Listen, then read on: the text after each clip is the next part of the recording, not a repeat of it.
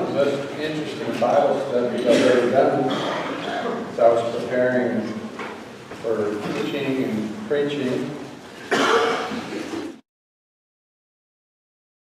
Into the theme of revival. I was surprised that uh, there was that much about revival in the Bible and that there were so many revivals described in the Bible. I don't know why I was surprised about that, but um, I was. Revival is, is, not a term that uh, we have used very much, at least in my experience in churches of Christ through the years, though I've certainly come across many churches in our fellowship that needed revival, and I've met many individuals that were looking for revival in their own personal life. Now, we haven't used the term much, probably for one of two reasons. Either one, we've sort of been scared of the word because it's been a word that we think has been abused by other groups. Or two, we're comfortable and complacent and don't feel a need for revival. Both those reasons, frankly, stink, to be very blunt. I've never felt that it was wise or good to avoid using a word because someone else misused it or abused it. And I think complacency and comfort are a scourge among the people of God and ought to be stamped out. We all need revived at times. Uh, personally, certainly. And also, certainly, I think congregationally. Now, if you read the dictionary definition of revival, it really doesn't sound all that threatening. The example that I saw, uh, here are the definitions. Number one, to, to bring back to life, to resuscitate. Number two, to bring back to a healthy, vigorous, or flourishing condition after a decline. And number three, to become valid, effective, or operative again. God's people have always needed revival, individually and as a group. Don't you feel from time to time a need to be revived? I know that I do, and the problem with revival is that there really isn't a 12-step program that you can follow or a, you know, a simple one, two, three uh, to be revived. The Bible doesn't say, you know, push this button or that button and, and you'll be revived. Rather, what it does is it shows us examples of God's people in decline and then coming out of that decline as they are revived. And I'd like us to look at one uh, excellent example of that today. It's an example of revival among God's people that took place a long time ago. I just want us to notice it and to ask what were the characteristics of their revival and how could those things affect my faith and um, e- even the, the work of this congregation here in Lancaster. The one I'm referring to is in book of Second Chronicles, and uh, beginning in chapter 29, Second Chronicles 29. Talk about a people in need of revival. Think about the nation of Judah after the reign of a king named Ahaz. He became king when he was 20 and reigned until he was 36. And those, in those 16 years, he almost single handedly destroyed the faith of that nation. The nation became devotees of the Canaanite god Baal, not the God of Israel. And things like child sacrifice became a part of their worship this, among the people of God. The nation, uh, God's chosen people, were falling apart. They were heading toward complete disaster. And it wasn't just that they had sort of a tired faith. In so many ways, their faith was dead. So if there was ever a people in need of revival, it was them. You know, if, if we were God, we would have written them off. But God didn't. We would have given up on them. We would have pronounced them dead spiritually.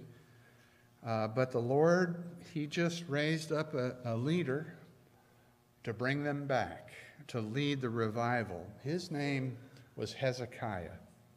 So if you look at chapter 29 of, of Second Chronicles, just notice the first couple of verses there where we're introduced to this leader. It says uh, Hezekiah began to reign when he was 25 years old, and he reigned 29 years in Jerusalem. His mother's name was Abijah, the daughter of Zechariah. And he did what was right in the eyes of the Lord according to all that David his father had done. That phrase, he did what was right in the eyes of the Lord. You see, the groundwork is being laid there for revival among God's people. You have a good, godly leader um, that has arisen among them. And Hezekiah's first order of business in the first month of his reign is focused on the spiritual life of the people. He opens up the temple that the wicked King Ahaz had actually boarded up. Can you imagine? He had boarded up the worship place. Look at verse 3 of that same chapter. It says, In the first year of his reign, in the first month, he opened the doors of the house of the Lord and repaired them. Amazing that that had to be done, but it did. And really, for almost 200 years, the temple, which was the center of spiritual life at that time among God's people, it had been gathering cobwebs. It had been totally neglected. It was in disuse. And so Hezekiah, first thing, sets out to fix it up. He, he sets out to, to renovate the house of God. He gathers the priests um, and the Levites, and he says, Clean yourselves up and then clean up the temple. And sacrifices were renewed at the temple. Um, the spiritual leaders were revived. And then in chapter 30, it's very interesting what happens there. The great Passover feast is finally celebrated again. And it says that thousands are in attendance. You recall, don't you, what Passover was all about? What was it about Passover so important? Once a year, they were to remember God's salvation. They were to remember God's deliverance of Israel from slavery in Egypt. When they celebrated Passover, they were remembering God saving them from bondage in a foreign land bringing them up to a new land, giving them a new life. For years, they hadn't celebrated Passover. For years, they had forgotten the salvation of God. They forgot what slavery was like. They weren't thankful for what God had done for them. Now, this sometimes happens to Christians.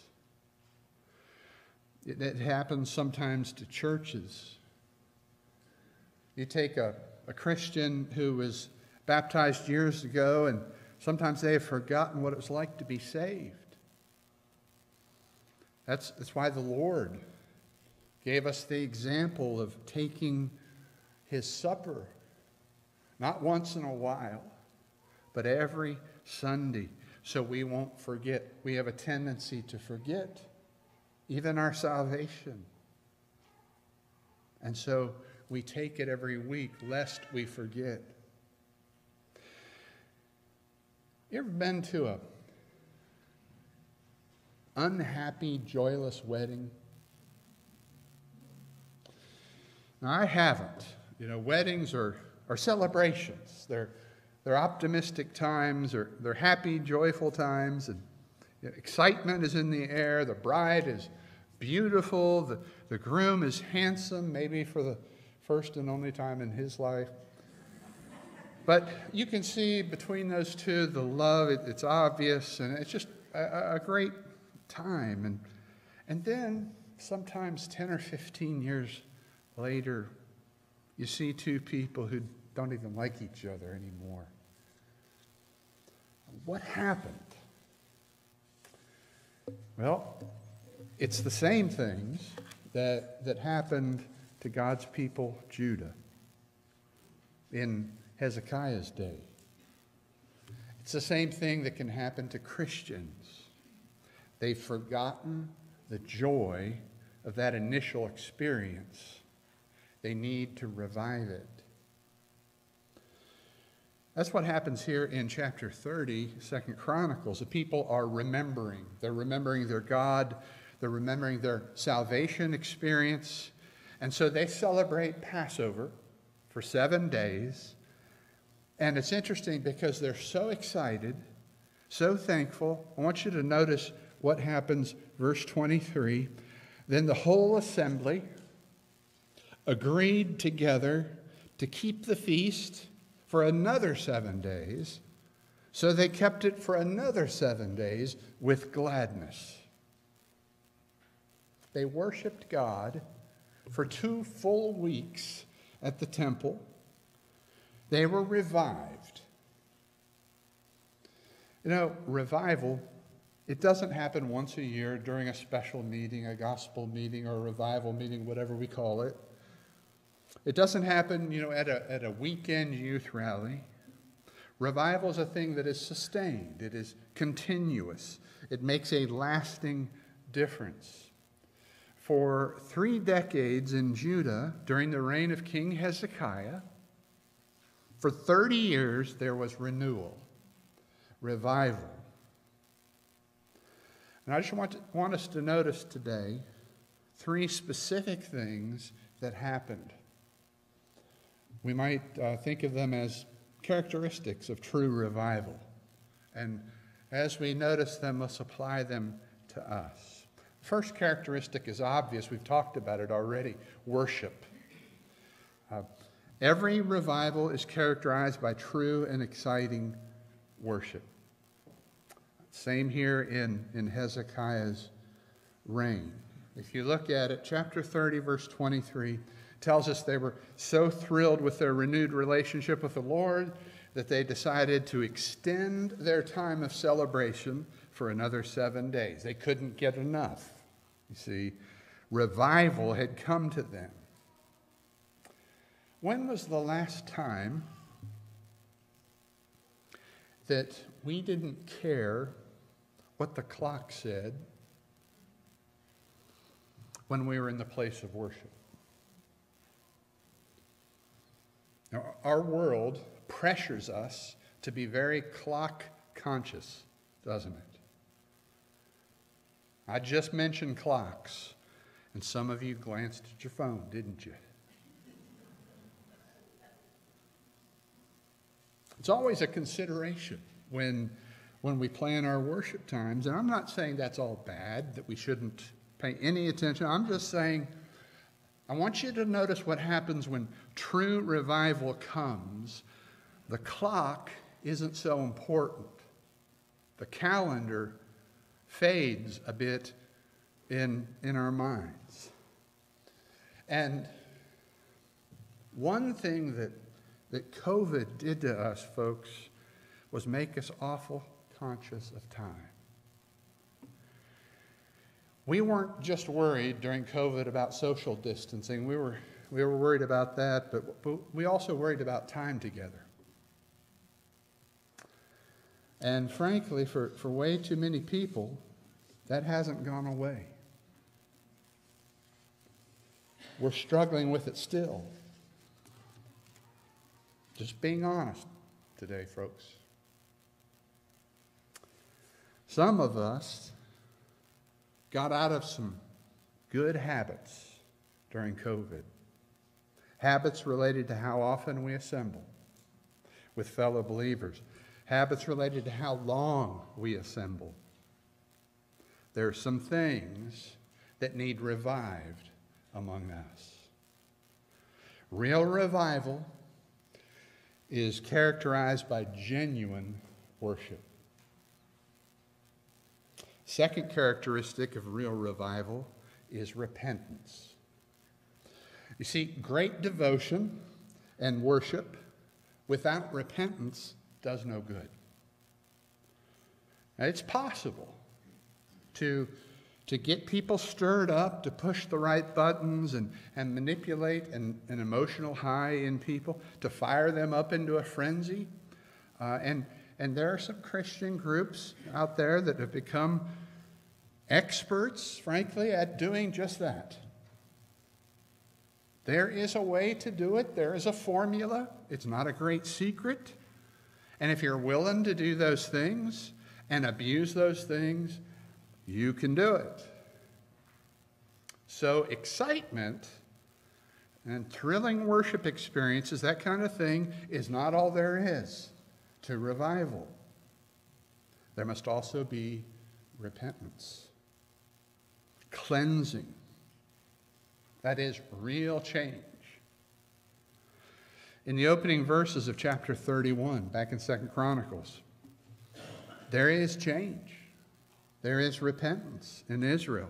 Notice, verse 1 says, Now, when all this was finished, that is, all the worship that they had done for two weeks, all Israel who were present went out to the cities of Judah and broke in pieces the pillars and cut down the Asherim and broke down the high places and the altars throughout all Judah and Benjamin and in Ephraim and Manasseh until they had destroyed them all. Then all the people of Israel returned to their cities. See, they could have done that two weeks of, of great celebrative worship um, to the Lord and, and then just went back to their old way of doing things after those two weeks were over. And it really would not have made a difference at all in their lives in the long run. But they repented. They changed. They went out, cleansed the land of idols. They tore down those things that were pulling them away from God, destroyed the shrines, and so forth. So, you see, any worship that excites and stimulates, thrills, but doesn't cause us to change, doesn't push us to repentance, is dangerous. Real revival demands repentance. It calls on us to change the way we think and act and the way we behave. Last characteristic of real revival that we notice here is generosity. What happens after worship and repentance? Well, in Judah, at this time, you have a group of people that, that are rededicated to the Lord. They need to be spiritually nourished. You have a temple and a priesthood that needs maintained you have things that need to be done. They can't celebrate Passover forever. They can't be at the temple all year long. They got to go back to their own towns. How is spiritual life going to be maintained? By the generosity of the people. Listen for a moment to the amazing thing that happened here. It begins in verse 3 of chapter 31 the contribution of the king from his own possessions was for the burnt offerings, the burnt offerings of morning and evening, and the burnt offerings for the Sabbaths, the new moons, and the appointed feast, as it is written in the law of the Lord. And he commanded the people who lived in Jerusalem to give the portion due to the priests and the Levites, that they might give themselves to the law of the Lord As soon as the command was spread abroad, the people of Israel gave in abundance the firstfruits of grain, wine, oil, honey, and all the produce of the field. And they brought in abundantly the tithe of everything. And the people of Israel and Judah who lived in the cities of Judah also brought in the tithe of cattle and sheep, and the tithe of the dedicated things that had been dedicated to the Lord their God, and laid them in heaps. In the third month, they began to pile up the heaps and finished them in the seventh month. When Hezekiah and the princes came and saw the heaps, they blessed the Lord and his people Israel. And Hezekiah questioned the priests and the Levites about the heaps. Azariah, the chief priest, who was of the house of Zadok, answered him, Since they began to bring the contributions into the house of the Lord, we have eaten and had enough and had plenty left. For the Lord has blessed his people so that we have this large amount left. True revival is evidenced by the generosity of the revived. Bible says that as soon as the word spread, the people gave in abundance the first fruits of their labors. Their giving was cheerful, it was willing, and it was generous. It was also priority giving. That's what the term first fruits means. Their giving to the Lord and His work came first. They considered what they would give to God before they considered what they would spend on other things. They gave their best, they gave it first, and they did it with a cheerful, revived heart. Let me ask you to consider what priority God has in your personal budget. Is He first? If not, why not?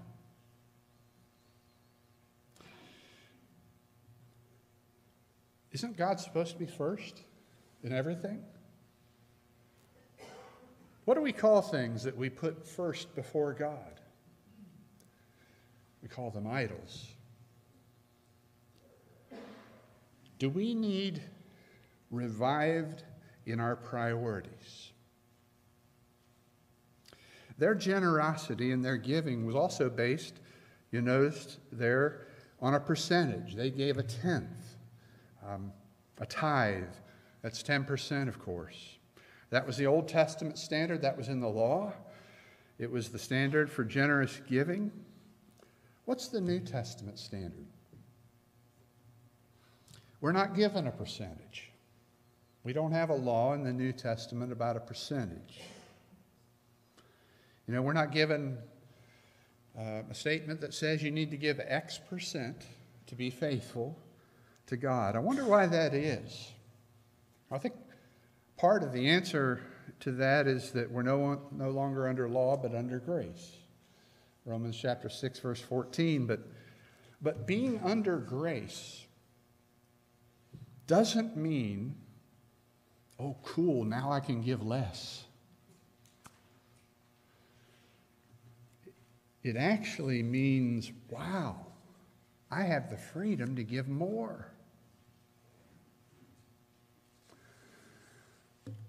If you're interested in, in pursuing this, I encourage you to go look at Jesus' great sermon. That's in Matthew chapters 5, 6, and 7. Just read his sermon. And one of the things our Lord does there is he takes the old law and contrasts it to what he's bringing in his kingdom, the kingdom standards that he's ushering in. And so he says things like this He says, The old law said, don't murder. But I say to you, don't even hate. And then he says, the old law says, don't commit adultery, but I say to you, don't even lust. And he does this several times. Now, in that sermon, he doesn't address exactly what we're talking about here, but I just want you to imagine if he, if he had, if he had said, the old law said, give 10%, what do you think he would have said about life in his kingdom? What do you think he'd have said about what to give? It's at least something to think about, isn't it? Jesus, in fact, did say in that sermon, Matthew chapter 5, verse 20, these words. He said, For I tell you, unless your righteousness exceeds that of the scribes and the Pharisees, you'll never enter the kingdom of heaven. True revival is characterized by true generosity. Wouldn't it be something to have the problem that Hezekiah and the priests had on that occasion? What was the problem? The people were so generous. They had these heaps of offerings that they had to deal with, more than they needed. And that'd be an amazing thing in the kingdom of God. If, if we had to decide, what are we going to do with all this? True revival, vibrant faith is characterized by worship, by repentance, and by generosity. I want us to close with prayer. And I want to pray with you a portion of one of the Psalms, Psalm 85 to get us to think about this as we speak to our God. Would you bow with me? Lord, you were favorable to your land. You restored the fortunes of your people. You forgave the sin of your people. Restore us again, O God of our salvation. Will you not revive us again, that your people may rejoice in you? Show us your steadfast love, O, Lord, and grant us your salvation. We thank you, Father, for the salvation you've given us in Christ, our Savior, our Lord. And help us, Father, to worship,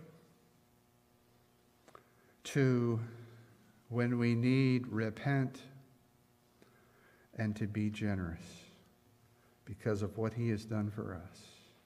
Pray your blessing on each one here today as they go into this next year, that it will be a joyous time for them in your kingdom.